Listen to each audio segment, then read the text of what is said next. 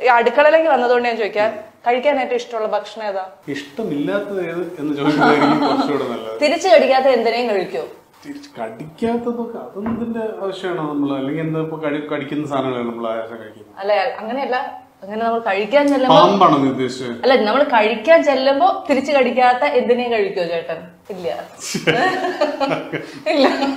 എന്താ എന്ത് പറഞ്ഞാലും ചേട്ടൻ പറ ഇനി ചേട്ടൻ ഏറ്റവും ഇഷ്ടമുള്ള ഫുഡ് എന്താ? ചോറും തൈരും എന്ന് പറയുന്നതാണ് ഭയങ്കര മാസ്. എനിക്ക് അങ്ങനെയല്ല എനിക്ക് കോണ്ടിനെന്റൽ അങ്ങനെയൊന്നുമില്ല. ഇല്ല. സത്യമായിട്ടും ഇല്ല. അങ്ങനത്തെ ഒരു കൃത്യത ഇല്ല ഇതിനകത്ത് വിശന്നാൽ എന്ന് കഴിക്കും. ചേട്ടൻ എപ്പോഴെങ്കിലും വൈഫിനെ ഒന്ന് സർപ്രൈസ് ചെയ്യിക്കാൻ വേണ്ടിയിട്ട് എന്തെങ്കിലും ഒന്ന് കുക്ക് ചെയ്ത് കൊടുക്കാം? അങ്ങനെ എന്തെങ്കിലും ഒക്കെ തോന്നിയിട്ടുണ്ടോ? അതില്ലാത്തത് കൊണ്ടാണ് ഞങ്ങളുടെ ദാമ്പത്യ ജീവിതം ഇപ്പോഴും സുഖകരമായി മുന്നോട്ട് പോകുന്നത്. പുള്ളിക്കാരി വളരെ സ്നേഹത്തോടെ കുക്ക് ചെയ്തെന്നുള്ള ഒരു സാധനം? ഒരുപാടുണ്ട്. She makes biryani she makes prawns ഒരുപാട് ഒരുപാട് എ ഗുഡ് കുക്ക് നല്ല കുക്കാണ് അങ്ങനെ ഒരുപാട് ആമി കുക്ക് ചെയ്യില്ല ആമി ഇപ്പോ ലണ്ടനിലാണ് അവൾ പഠിക്കുന്നത് പഠിക്കാൻ അവിടെ അപ്പൊ ഒറ്റയ്ക്ക് റൂമിൽ എല്ലാ കുക്കിങ്ങും പഠിക്കുന്നുണ്ട്. അതെ നമ്മൾ ക്ഷമാത്രൊക്കെ വരയ്ക്കുന്നുണ്ടല്ലേ? അതെ അതെ പാസ്തയും മറ്റേതൊക്കെ എന്റെ ഫോട്ടോസ് രാവിലെ കാണാം. കാരണം നമ്മൾ ഇവിടുന്ന് നാലര മണിക്കൂർ ഡിഫറൻസ് ഉണ്ടല്ലോ. അപ്പോൾ ബ്രേക്ക്ഫാസ്റ്റ് നമ്മുടെ ഇവിടുത്തെ ലഞ്ച് ടൈമിലായിരിക്കും അപ്പൊ അവിടുന്ന് ഈ പറഞ്ഞ സോസേജ് പാസ്തയൊക്കെ കുക്ക് ചെയ്ത് അതിന്റെ നല്ല ഭംഗിയായിട്ട് അതിനെ എന്താണ് സ്ത്രീകൾ എല്ലാ സ്ത്രീകളും അങ്ങനെ ഇല്ല കേട്ടോ എനിക്ക് ആ കഴിവില്ല അങ്ങനെ അടുത്ത സ്ഥലത്തേക്ക് പോവാം. പക്ഷെ നിനക്ക് കുക്കിംഗ് കൂടെ അറിയാമായിരുന്നെങ്കിൽ. ചേട്ടാ പ്രായമായോ നേരെ നടക്ക.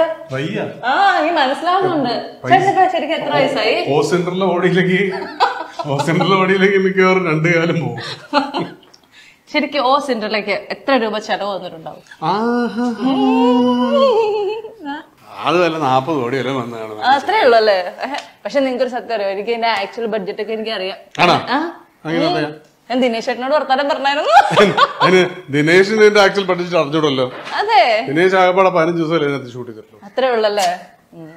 ഞാൻ ഇനി കുറച്ച് വിവാദപരമായ ചോദ്യങ്ങൾ ചോദിക്കട്ടെ?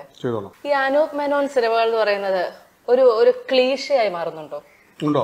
ഉണ്ടോ? ഞാൻ ചോദിക്കാം. ആ എഴുത്തുകാരനോട് തന്നെ ചോദിക്കാം. നല്ല ക്വസ്റ്റ്യൻ ആണ് എന്റെ മെഴുതിരി താഴങ്ങൾ ഓക്കെ.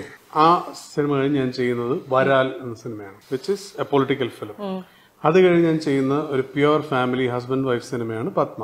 അത് കഴിഞ്ഞ് ഞാൻ ചെയ്യുന്നത് എന്താണ്?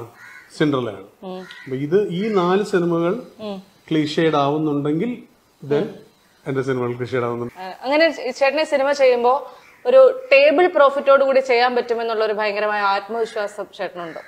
ആത്മവിശ്വാസമല്ല അത് ഇതുവരെ പറ്റിയിട്ടുണ്ട്.